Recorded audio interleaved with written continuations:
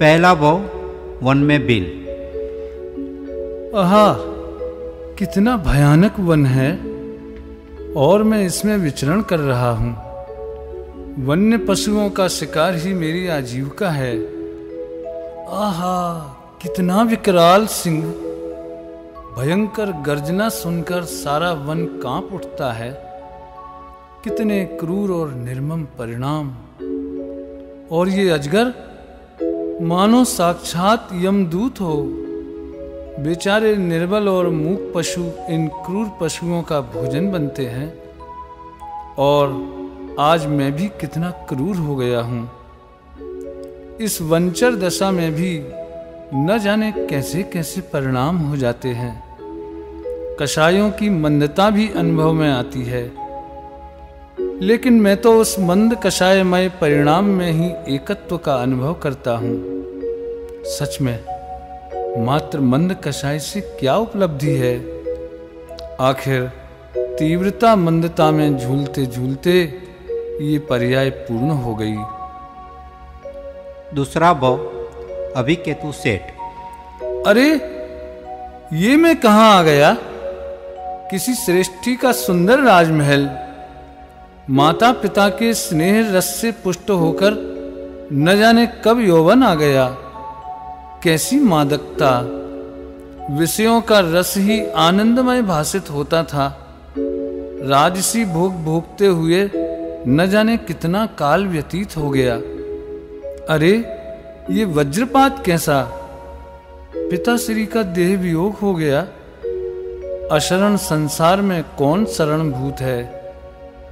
पिताश्री की मृत्यु के पश्चात सारे परिग्रह का बोझ मुझे संभालना पड़ा और लोग मुझे सेठ कहने लगे, अभी केतु सेठ, न जाने किन संस्कारों के वश जिनेन्द्र दर्शन, पूजन, स्वाध्याय, सदाचरण, ये सब गुण मेरी दिनचर्या के अंग बन गए। मैं दुर्व्यसनों से बचा रहा, पर मृत्यु तो आती ही है। हे भगवान प्राण निकलते समय कैसी वेदना होती है? जैसे तैसे प्राण छूटे और तीसरा वो सौधर्म स्वर्ग में देव। अरे मैं यहाँ कहाँ आ गया? और आते ही यौवन अवस्था। यहाँ तो रत्नों का प्रकाश है। हाँ ये तो स्वर्ग है, मंद कषाय का फल। यहाँ का तो मज़ा ही निराला है, न भूख प्यास, न खांसी जुकाम। बस अप्सराओं के साथ घूमो फिरो और मौज करो। लेकिन दूसरे देवों का ठाट बाट तो मुझसे भी अधिक है। ये बात निरंतर कांटे जैसी चुभती है, इसलिए भोगों में भी मज़ा नहीं आता। और फिर इंद्र की गुलामी, निरंतर अपमान की भट्टी में जलना और विषय रस का पान करने पर भी अतृप्त तृष्णा। और अब तो ये स्वर्ग फीका लगता है। ये आभूषणों की चमक क्षीण हो रही है या नेत्रों की ज्योति क्षीण हो रही है? समझ गया। इस पर्याय का अंत निकट है। आखिर अमरों को भी मरना पड़ता है। हे प्रभु मुझे भी मरना पड़ेगा। हाय अब मैं कहा जाऊँगा? चौथा वो चिंता गति विद्याधर। अरे वाह कितना सुंदर है ये पुष्कर द्वीप न जाने किन परिणामों से मैं यहाँ विद्याधर होकर आया। लोग मुझे चिंता गति कहते हैं। मेरे भाई मनोगति और चपल गति मुझे कितना प्यार करते हैं। हम तीनों आकाश में उड़कर जब अकृत्रिम चैत्यालयों की वंदना करते हैं, दिव्य ध्वनि सुनते हैं, तब कितना मज़ा आता है। और वो प्रीतिमती, सौंदर्य की प्रतिमा, लेकिन कितनी घमंडी। समुद्र के शिखर से माला फेंककर मेरू की तीन प्रदक्षिणा देकर उसे बीच में झेलने वाले से विवाह करने की शर्त रखी। भैया मनोगति और चपल गति परंतु शर्त में हार गए लेकिन मैंने उसे हरा ही दिया और वो मुझसे विवाह करने को तैयार हो गई। परंतु जिस कन्या पर भाई रीझे हों, उससे मैं विवाह कैसे कर सकता था? मैंने तो मना कर दिया।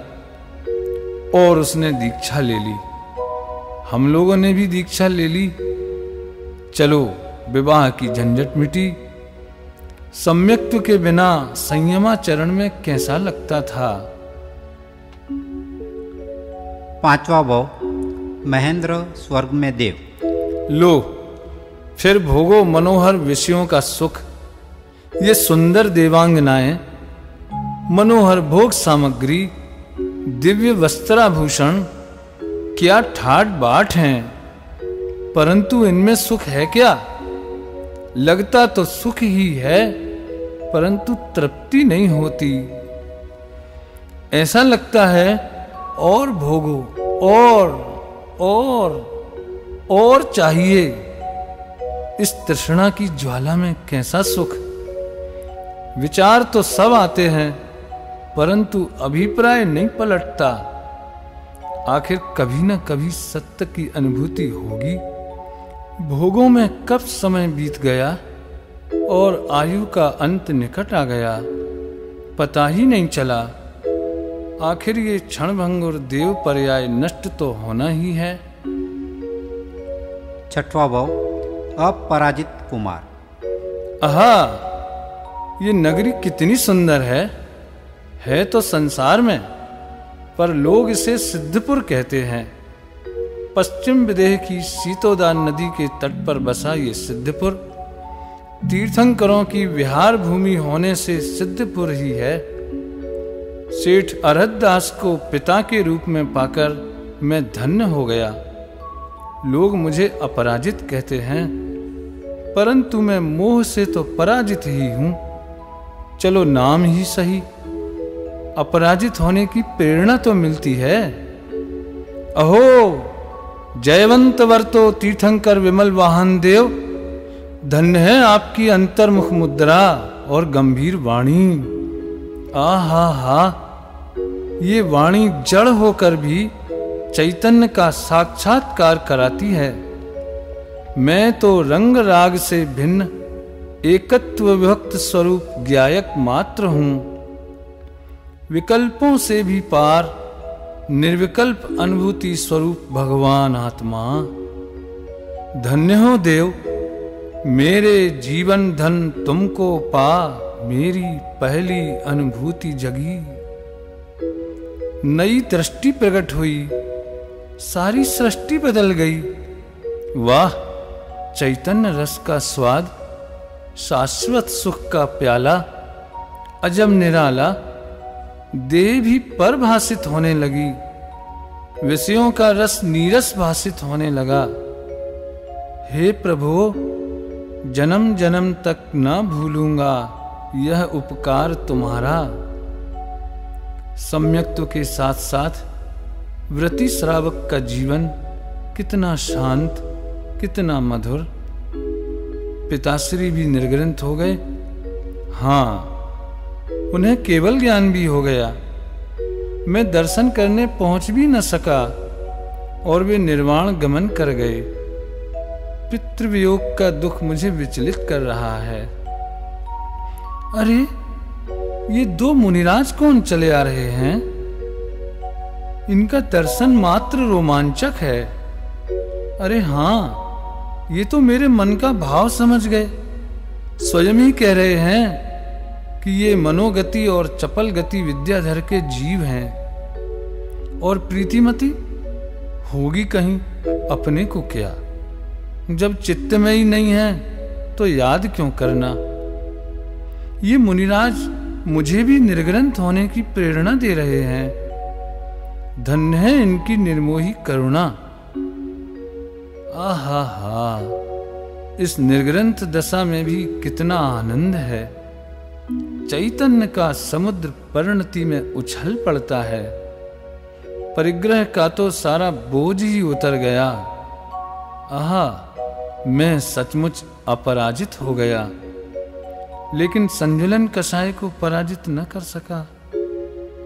लगता है कुछ भाव और शेष हैं, लेकिन अब मुक्ति अत्यंत निकट है। सातवां भाव, अच्युत स्वर्ग में इंद्र। लो। फिर भोगो बाईस सागरोपम तक विषयों की आकुलता। कहाँ वह अतीन्द्री आनंदमयी निर्ग्रंथ दशा? और कहाँ यह असंयम की ज्वाला? संयम से च्युत होकर अच्युत स्वर्ग में ये इंद्र पद मिला है। संज्वलन कसाय का ये दंड कितना कठोर। स्वर्ग के भोग तो निराले हैं। पर अब इनमें मज़ा नहीं आता। भोगों की आकुलता और चैतन्य का स्वाद इस दुविधा में बाईस सागर पूरे हो गए और अच्युत स्वर्ग से भी च्युत होना पड़ा। आठवां भाव हस्तिनापुर के राजा श्रुप प्रतिष्ठ। अहो ये हस्तिनापुर नगरी मानो स्वर्ग को भी लज्जित कर रही है। पिता श्री राजा श्री चंद ने मेरा नाम सुप्रतिष्ठ रखा। अब तो चैतन्य में प्रतिष्ठित होना है। कितनी सुहावनी चांदनी रात्रि है। निर्मल आकाश में चमकते दमकते सितारे। चैतन्य चंद्रका का प्रतीक ये निर्मल चांदनी। अरे अरे, ये प्रकाश रेखा कैसी? ये तो उल्का पाथ लगता है। आहा, ये तारा खिर गया। इस जगत में तो सब कुछ क्षणिक है। ये जीवन भी खिर जाएगा। कब तक भोगों की ज्वाला में जलूँगा। चैतन्य की निराकुल शांति के अखंड वेदन में ये राजपाट का राग बाधक लगता है। अब तो ये दृढ़ निश्चय है कि शीघ्र ही समस्त परिग्रह का त्याग करके चैतन्य की अखंड साधना करना है। वाह, अतीन्द्री आनंदमयी निर्ग्रंथ दशा भी अलौकिक है। प्रचुर स्वसंवेदन। ऐसा लगता है कि उपयोग स्वरूप में से बाहर ही न निकले। जरा से रागांश की जलन भी सहन नहीं होती। ये भी कर्म बंध का ही कारण है। चाहे तीर्थंकर प्रकृति भी क्यों न हो वो भी तो कर्म ही है धर्म तो नहीं। नौवा बव जयंत विमान में इंद्र। आखिर साधना की अपूर्णता का दंड एक बार फिर मिला। जयंत विमान में मंद कषाय में ही तैतीस सागर तक रहना पड़ेगा। असंख्य अरब वर्षों तक का एक सागर इतनी बड़ी असंयम दशा। वैसे इतना ज़रूर है कि यहाँ तत्व चर्चा के सिवाय दूसरा कोई काम नहीं है।